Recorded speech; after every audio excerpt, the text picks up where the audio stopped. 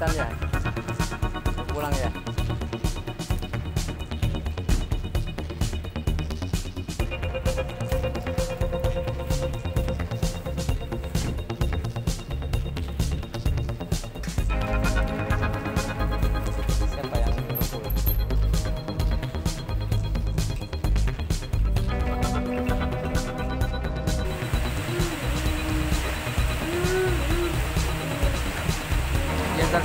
Kalau udah bayaran ya.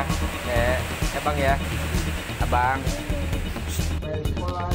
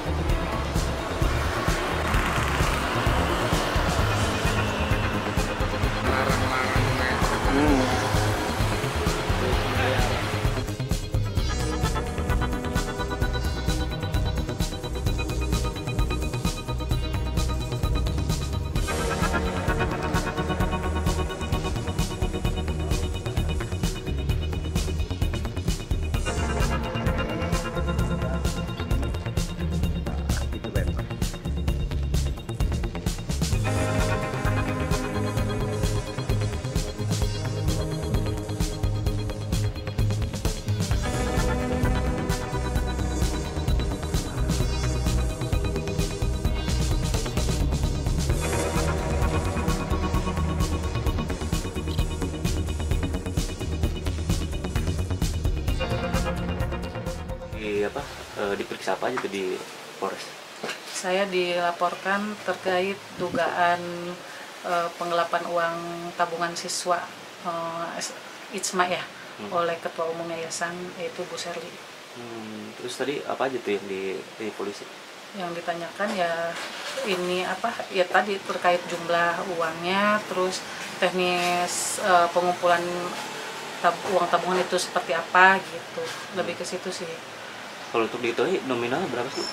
Yang dituduhkan itu sekitar 124 Enggak. juta. Hmm, tapi dari Gus sih seperti apa tuh? kalau dari sebenarnya uang itu saya kan memang posisi saya saat itu bendahara umum dan memang eh, istilahnya apa ya cash flow keuangan itu saya yang apa ya yang yang kebijakan itu saya yang ngambil gitu tapi dari uang itu sendiri sebenarnya ada pemakaian bu eh, ketua umum juga Hmm. senilai 70 jutaan lebih lah kurang lebih Hmm. Bu ini eh, dampak dari pengeluaran eh, anak ibu atau seperti apa? sepertinya iya sepertinya dihubung-hubungkan Hmm. Ah- akhirnya anak saya pun dikeluarkan dari sekolah saya pun dilaporkan ke polisi ya dengan dugaan tadi eh, penggunaan eh, apa penggelapan ya penggelapan jelaskan terkait eh, apa penggelapan uang di Yayasan eh, Islamic Center seperti apa sih? Ya baik dari kami unit 2 Satreskrim Polres Pandeglang membenarkan bahwa adanya laporan terkait penggelapan dalam jabatan eh, yang dilakukan oleh seorang wanita berinisial DF sejumlah 124 juta dari Yayasan Islamic Center Herwansyah.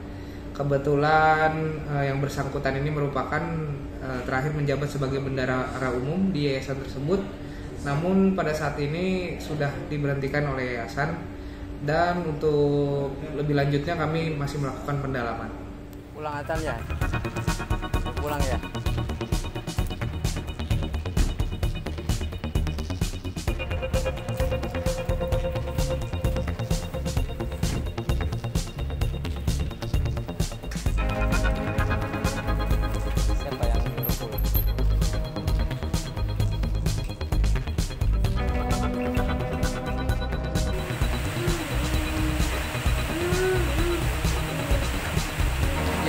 Lagi kalau udah bayaran ya. Eh, ya bang ya.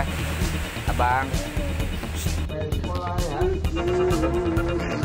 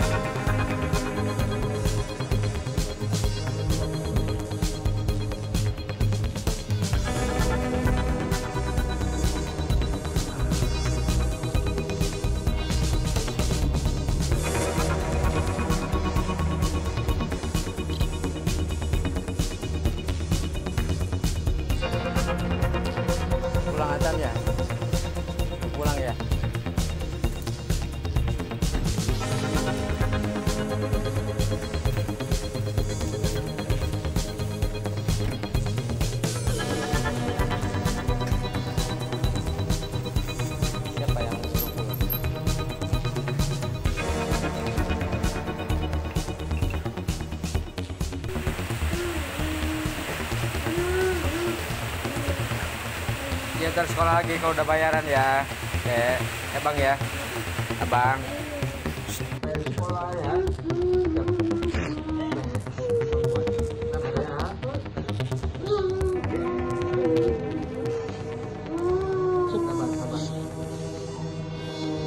Hehehe